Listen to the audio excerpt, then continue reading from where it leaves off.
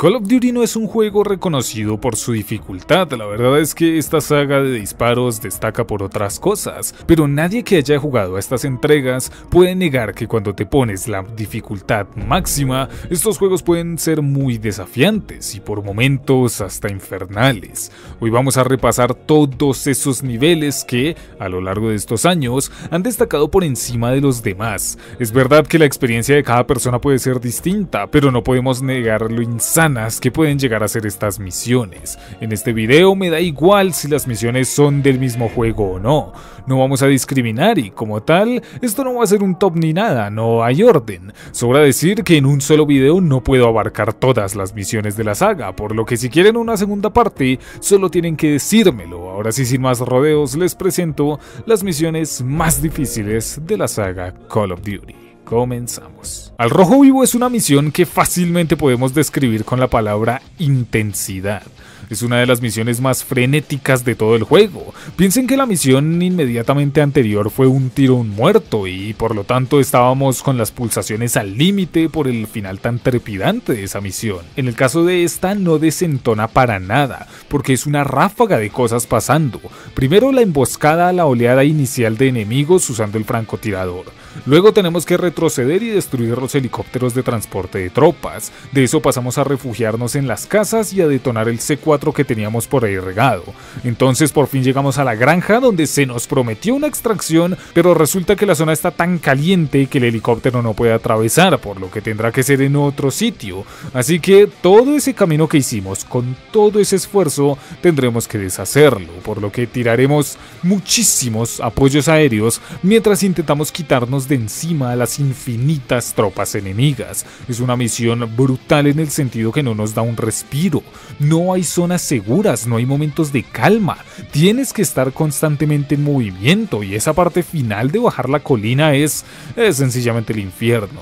Los enemigos no dejan de venir y tenemos que pensar muy rápido nuestra ruta y batallar, simplemente batallar muy bien para quitar del medio a quien se nos atraviese. Lo bueno es que por el frenetismo la misión se hace hasta corta, pero si te estancas, créeme que sufrirás. No es una misión para cualquiera y comparte muchas características con la que considero la misión más difícil de este juego. En el CG no se lucha está quizás en las antípodas de lo que describí antes. En este caso, si bien tenemos un contador que nos acosa y nos hace sentir la urgencia, es mucho más pausada. Aquí sí que hay spots y momentos de aguante interesantes. El recorrer los pasillos hasta tétricos de esta instalación rusa, estando obligados a tener cuidado de cualquier mínima esquina donde se pueda esconder el enemigo. Es una experiencia genial, es divertida la verdad. Eso al menos hasta que llegas a la sección en la que el camino se bifurca. Ahí si no tienes cuidado lo puedes pasar realmente mal y estancarte un buen rato.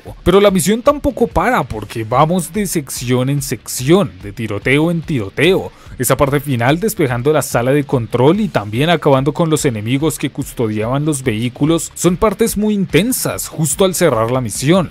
No te permite dar un pestañeo es en general una misión muy bien cuidada en todos los detalles que se puede hacer agobiante por lo repetitivo y claustrofóbico que resulta el entorno. Los tiroteos están muy bien planteados y realmente sientes que estás entrando a las fauces de una bestia. Es un gran preámbulo para la misión final y sin dudas es de los escenarios más difíciles de completar de esta campaña. Y para terminar con este juego, sin dudas el reto máximo Club de Ligue Aéreo. Esta misión es curiosa dado que es un nivel de bonificación que se nos da una vez terminamos la campaña y es muy bueno. Repite la fórmula de nivel corto, demasiado corto en realidad. El recorrido no es de más de 2 o 3 minutos, pero la cantidad de enemigos que hay es absurda. Si juegas en veterano te dispararán desde todos los lados y como estás en un entorno tan cerrado te sientes muy limitado, tienes que usar tus habilidades al 100% por porque de verdad que es una buena pelea lo que tenemos aquí. No hay mayor sustancia en la misión, es verdad, es simplemente una gran escaramuza a lo largo de un avión, pero está bastante bien. Algo que a muchos nos hizo fracasar es la parte final, esa en la que tenemos a este enemigo que tiene un rehén y créanme que dar ese disparo con una USP-45 es realmente complicado, necesitas mucha precisión y como la misión se reinicia sin importar dónde muramos, pues podemos pasarnos un buen rato aquí.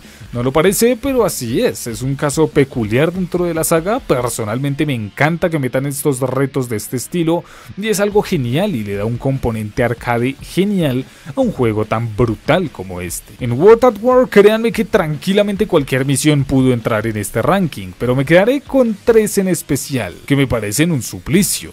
Las primeras son Antorcha y Sacacorcho y Límite, y permítanme empaquetarlas dentro del mismo saco porque son básicamente continuaciones directas la una de la otra. Son como todos camuflados y un tiro un muerto, son indistinguibles. Y créanme que estas misiones son el infierno. La idea fundamental de la primera misión es sencilla, estamos en la selva con lluvia intensa, panorama gris y tendremos que abrirnos paso por el territorio enemigo.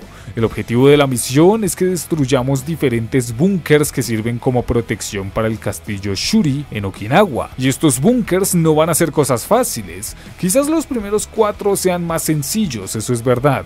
Pero el último, el más grande, eso sí que es brutal. Al llegar a él, nuestro camino se bifurca en dos direcciones. A nuestra elección queda por cuál ir. Entonces tendremos que batallar contra montones de infantería japonesa pero montones. Y eso es solo para acceder al búnker, porque adentro nos espera también una muy fuerte batalla a lo largo de cuatro niveles que tendremos que despejar. Estamos hablando de tiroteos muy duros que solo tienen el objetivo de despejar la entrada al castillo.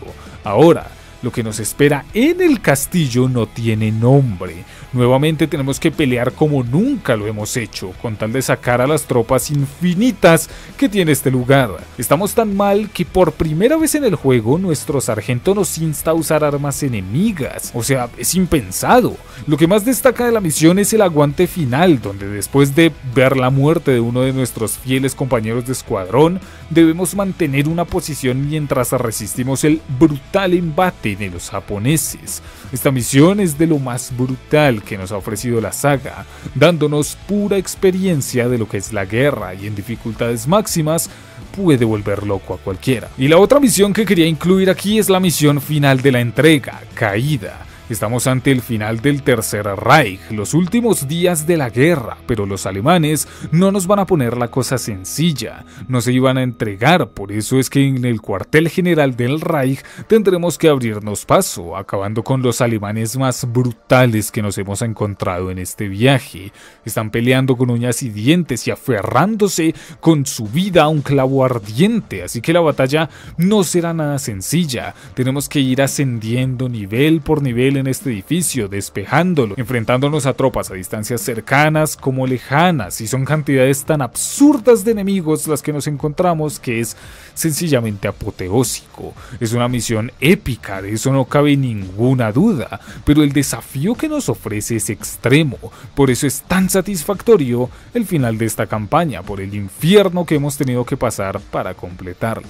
Damos el salto a Modern Warfare 2, donde nos encontramos otras dos misiones que funcionan como parte de una sola, las misiones en Brasil.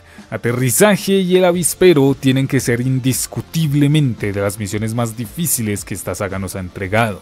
Quiero hacer el matiz de que el avispero me parece levemente más sencilla. Quizás tenga que ver con que la idea de la misión es salir de las favelas, lo cual es ligeramente más sencillo que entrar en ellas. Pero ambas misiones en su conjunto son bestiales. La idea de meternos de lleno en las favelas de Río de Janeiro es increíble. Es un territorio nunca antes visto en la saga Call of Duty que jamás se repetirá. Es simplemente único. Un terreno tan hostil para nosotros es, es por momentos. No lo conocemos y lo peor es que cada esquina, desde cada callejón puede venir un enemigo.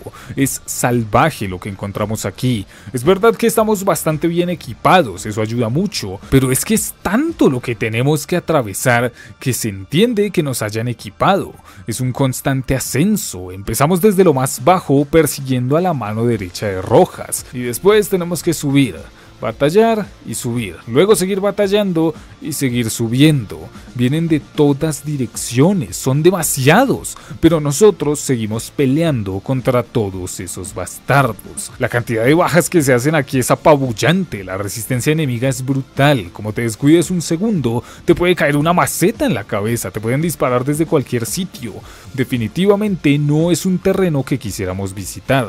Al final el capitán McTavish consigue capturar a Rojas y le sacamos toda la información, pero eso fue tan solo la primera parte, porque después tenemos que salir de las favelas. Aquí sí da igual cómo las recorremos, subimos, bajamos, lo que todas las calles tienen en común es que seguimos peleando. Lo reconfortante de esta última parte es que tenemos a nuestros compañeros con nosotros, así que ya no se siente la desventaja tan brutal que teníamos cuando íbamos solos. Al final de la misión llegamos a los tejados y caemos y tenemos esta espectacular sección de correr desarmados de nuestros perseguidores, mientras el payload de Nicolás nos abandonará si no nos apresuramos, terminando en una escena digna de cine. En serio que son complicadas estas misiones, pero se pueden disfrutar muchísimo. Tenemos un entorno único, enemigos por montones, dificultad elevada, sencillamente es una misión casi perfecta. Pasamos al Gulag, otra misión dantesca. Aquí tenemos que meternos a la fuerza en un Gulag ruso bajo la premisa de rescatar al prisionero 627. Y como se imaginarán, es una labor titánica. Primero tenemos que despejar las afueras, el exterior de la prisión. Luego, y aquí viene lo difícil, tenemos que adentrarnos en el vientre de la bestia. Primero tendremos que despejar los bloques de celdas que hay por ahí. Afortunadamente vamos con nuestro equipo, pero eso no hace la cosa más sencilla. Hay enemigos en todas partes y tenemos que ir despejando la zona. Dios bendiga a quien puso esa armería hace las cosas mucho más amenas, pero la cantidad de enemigos que hay en estas celdas no tiene ningún sentido, no es normal la cantidad de resistencia. Luego vamos a lo más bajo, donde tienen a los prisioneros más peligrosos. Allí tendremos que seguir abriéndonos paso poco a poco, mientras los peligros se hacen más grandes. Para este punto, hasta nuestros aliados se convierten en una amenaza y demasiado peligro cercano. Finalmente llegamos a esta parte de las duchas, que es francamente la cúspide de la dificultad en esta misión con una densidad poblacional enemiga brutal, disparándonos desde dos alturas, pero desde un, pasillo muy largo. Aquí se presentan los enemigos con escudos, que si no contamos con los recursos como segadoras y granadas, son un hueso bastante duro de roer. La pelea en estas duchas es fabulosa. Estamos nosotros y nuestros aliados contra estos tipos que tratan de impedir a toda costa que lleguemos a nuestro objetivo. Es una parte traumática si te quedas estancado Luego la misión se hace más sencilla con el equipo rescatando a Price y teniendo que escapar de las explosiones del Gulag, pero no hay duda que atravesar esto es como bajar al mismísimo infierno de Dante y recorrer sus nueve círculos. Es toda una experiencia que significará un desafío incluso para los más experimentados. Pero si hablamos de infiernos, el enemigo de mi enemigo me parece otro nivel. Es una misión sencillamente genial desde su planteamiento. Somos Soap McTavish, estamos solos en un campo de batalla y este está plagado tanto de fuerzas de Makarov como también de la Shadow Company.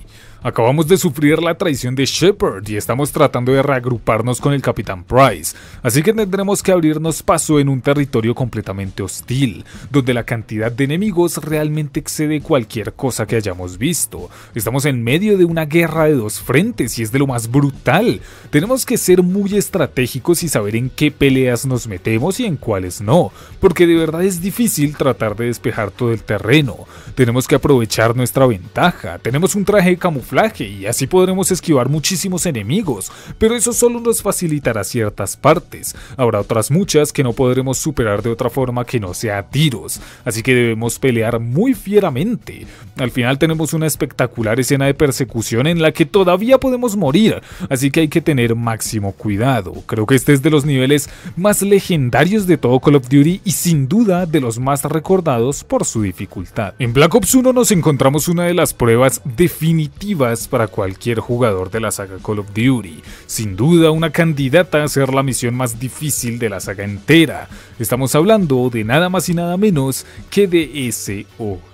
Aquella mítica misión en Vietnam en donde nuestros protagonistas se quedan estancados básicamente por accidente gracias a que Woods quiere ayudar a los soldados del lugar. Y la verdad es que ojalá nunca le hubiéramos hecho caso, ya que aquí vivimos una de las batallas más duras de la saga. Desde el inicio tenemos bombardeos brutales, la lucha por las trincheras no te deja respirar, los enemigos vienen de todas partes y además son infinitos, por lo que debes tener mucho cuidado, pero también debes ser rápido porque si no avanzas, el spawn enemigo no dejará de generarlos. Si logramos superar eso, llegaremos a otra trinchera, en la que el objetivo será utilizar cargas de C4 para barrer con la zona. Lo malo es que estamos tan cerca que los enemigos no dejarán de acosarnos y podrán matarnos tranquilamente. Ahora avanzamos y destruimos unos tanques, que bueno, eso no es tan complicado. Pero es que viene después el infierno en la tierra. Y es que llegamos a esta zona en la que nos encontramos en lo alto de una colina y tenemos que bajarla, eliminando a los enemigos, que por cierto no paran de venir. Están en todas direcciones, en todos los spots, no dejan de venir. La única manera de hacer que retrocedan es utilizando los tres depósitos de combustible que hay por ahí, pero para que lleguemos a esos tres nos hará falta matar mucho, tener mucho cuidado y arrojo en los momentos adecuados. No hay plan ni estrategia que funcione aquí, solo batallar. Si por razones del destino superamos esta parte, luego tenemos que avanzar por el bosque que dejamos en llamas para subir una colina tomada por los enemigos, que se nos puede volver a complicar. No hay un metro sencillo en esta visión. Ya cuando pasemos eso llegaremos a la sección final en la que destruiremos tanques desde un jeep, pero es que todavía nos pueden matar, así que hay que ser lo más eficiente posible. No les miento cuando les digo que esta misión no se exprime como ninguna lo había hecho, en serio. Es una locura lo que esta misión nos hace hacer, nos convierte en bestias. Es normal estancarse aquí, la misión requiere paciencia y concentración al máximo y sin duda es de los mayores desafíos de la saga entera. Y otra misión que me gustaría destacar de este juegazo es números. Estamos ante una misión curiosa en un pasaje inédito para la saga. Estamos en pleno Kulon y tenemos que ayudar a salir con vida al Dr. Clark de esta ciudad.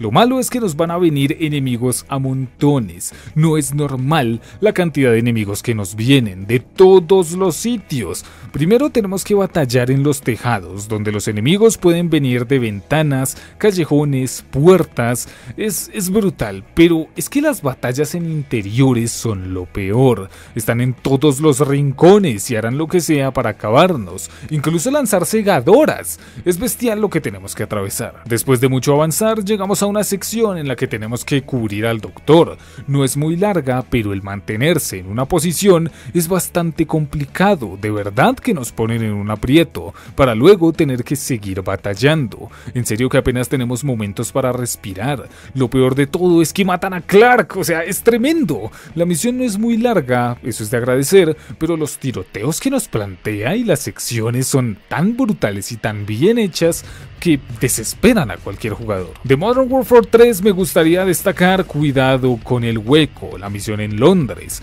Aquí controlaremos a un equipo del SAS siguiéndole la pista a varias armas químicas que Makarov está haciendo circular. Esto desemboca en que nos enfrentaremos a sus soldados a lo largo de este nivel, que nos ofrecerán una resistencia tremenda. Tenemos que ir a muchos puntos y lidiar con muchísimos enemigos, muchísimos. Los cabrones protegerán su cargamento con todo y nosotros pelearemos con todo para recuperarlo. Atravesar estos terrenos en obras es tremendo. No es, no, sé cómo es posible que Makarov tenga tantos, tantos soldados plantados en Londres, pero siguen y siguen viniendo por más que los despachemos. Luego llegamos a la persecución, donde por si no fuera el hecho de que es bastante difícil darle a los enemigos, siempre está el peligro de darle a un civil.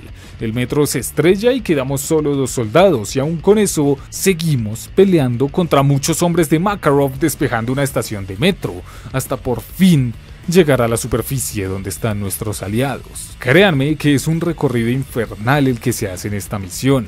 Batallamos como nunca y al final de todo perdemos, fracasamos deteniendo el cargamento. Es sencillamente una decepción que hayamos pasado por todo eso para perder esta batalla. Muestra que aunque muchos soldados lo den todo, a veces simplemente no es suficiente y por más habilidad que tengamos, no somos suficientes. Y lógicamente tenemos que hablar de las misiones en Francia, por favor. En este caso también les contaré como una sola por lo mismo. Son la continuación la una de la otra. El recorrido que tenemos en la ciudad parisina es bestial. Casi desde el segundo uno estamos repartiendo tiros. Tenemos que despejar una biblioteca y la verdad es que se muere bastante aquí nos reunimos con Sabri y eso no es para más sino para seguir peleando a lo largo de estas hermosas calles, incluso utilizando artillería pesada contra los enemigos. Las catacumbas no son ni mucho menos una experiencia amena para completar, y cuando salimos nos encontramos con una de las mejores y a su vez más difíciles persecuciones con todo el ejército ruso protegiendo a Volk intentando que no lo alcancemos. Pero una vez lo tenemos, sacarlo de Francia será un infierno también. Se agradecen muchísimo las partes con el AC-130, hacen que la misión sea más llevadera, pero las partes de Frost son brutales, sobre todo por ese aguante final en el puente donde nos defendemos con todo hasta el último cargador a la espera de nuestros refuerzos. Estamos hablando de un par de misiones excelentes y espectaculares que nos llevan al límite solo para darnos como conclusión la caída de la Torre Eiffel.